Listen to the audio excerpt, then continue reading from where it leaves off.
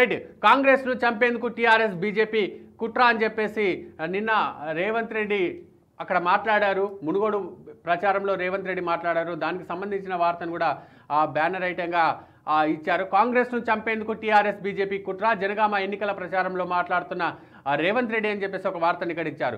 ప్రజల గొంతుకగా నిలుస్తున్న కాంగ్రెస్ పార్టీని చంపేందుకు TRS BJP కుట్రలు పన్నుతున్నాయని పీసీసీ అధ్యక్షుడు రేవంత్ రెడ్డి అన్నారు.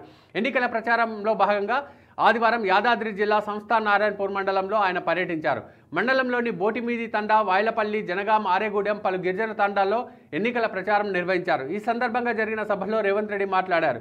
గిరిజనులకు భూములు పంపిణీ చేసినందుక పేదలకు ఇందిరమ్మ ఇల్లు నిర్మించినందుక పల్లెల్లో అభివృద్ధి చేసినందుక ఎందుకు కాంగ్రెస్ పార్టీని చంపాలనుకుంటున్నారని ప్రశ్నించారు. టీఆర్ఎస్ బీజేపీ చేస్తున్న ప్రజా వ్యతిరేక పాలనకు వ్యతిరేకంగా పోరాడుతున్నందుకు కాంగ్రెస్ పార్టీని చంపేందుకు ప్రయత్నిస్తున్నారని ఆరోపించారు.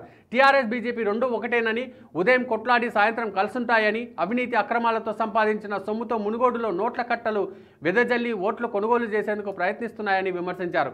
మునుగోడు గడ్డ పోరాటాలకు పెట్టింది పేరని అలాంటి గడ్డలో ఈ పార్టీల ఆటలు సాగవన్నారు. మునుగోడులో పన్నెండు పర్యాయాలు ఎన్నికలు జరగా బీజేపీకి డిపాజిట్ అయినా దక్క దక్కిందా అని ఎద్దేవా చేశారు. రెండు సైజులు కేసీఆర్ ముఖ్యమంత్రి అయినా మూడు అడుగుల జగదీశ్వర్ రెడ్డి మంత్రి అయినా ఒకసారి కూసుకుంట్ల ఎమ్మెల్యేగా గెలిచినా మునుగోడు ఎలాంటి అభివృద్ధి చెందలేదని అన్నారు. శివనగూడెం చెర్లగూడెం కిష్టరాయపల్లి నిర్వాసితులకు నేటికి పూర్తి స్థాయిలో పరిహారం ఇవ్వలేదన్నారు. మునుగోడు ఉప ఎన్నికలో కాంగ్రెస్ పార్టీ గెలిస్తే రెండు వేల ఇరవై మూడులో వంద సీట్లతో రాష్ట్రంలో అధికారంలోకి వస్తుందని అన్నారు. ఈ కార్యక్రమంలో మునుగోడు కాంగ్రెస్ అభ్యర్థి పాల్వాయి స్రవంతి పాల్గొన్నారని చెప్పేసి ఒక వార్తని ఇక్కడ రేవంత్ రెడ్డి కాంగ్రెస్ పార్టీ కొంత సీరియస్గా తీసుకోండి మునుగోడు ఎన్నికని. ఎందుకంటే మునుగోడులో కనుక కాంగ్రెస్ పార్టీ హుజరాబాద్ ఫలితం కనుక రిపీట్ అయితే ఇక కాంగ్రెస్ పార్టీ పరిస్థితి ఇక అంతే. ఇక అంతే అక్కడ. ఇన్ని సమస్యలను ఎదుర్కొని అంటే మునుగోడు ఎన్నిక కంటే ముందు కాంగ్రెస్ పార్టీకి అతిపెద్ద సమస్య కోమటిరెడ్డి వెంకటరెడ్డి అనే సమస్య. సొంత తమ్ముని ఆయన డైరెక్ట్ కార్యకర్తలకు ఫోన్ చేసి మీరు బీజేపీలోకి వెళ్ళిపోండి అని చెప్తున్నాడు. అయినా కూడా కోమటిరెడ్డి వెంకటరెడ్డి పైన చర్యలు తీసుకునే అవకాశం కాంగ్రెస్ పార్టీకి అక్కడ కనిపిస్తలేదు. అవతల రెండు అధికార పార్టీలు బీజేపీ టీఆర్ఎస్ అనే రెండు అధికార పార్టీలు.